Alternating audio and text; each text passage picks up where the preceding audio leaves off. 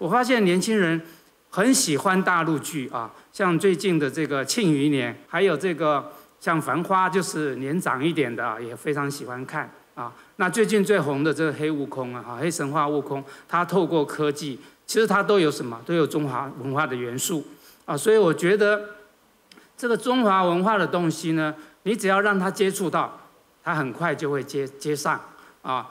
那你像过去我们台湾很少拍这些像三国啊这种大剧哈，都在看日本的动画啊，所以这个有时候就是呃，现在大陆因为重视中华文化，我觉得这这一部分对台湾的影响非常大啊。我我觉得这一部分我们可以透过媒体怎么样来努力哈，像最近这个台湾最有名最红的歌手周杰伦，对不对？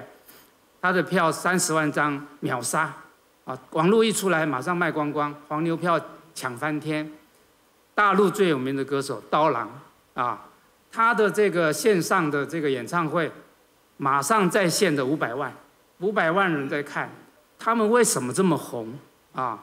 他们的歌曲里面有一个很重要元素——中华文化。所以我想，我在想，就是我们媒体可以做怎么样的一个一个交流哈，就是媒体之间的交流互动。很重要，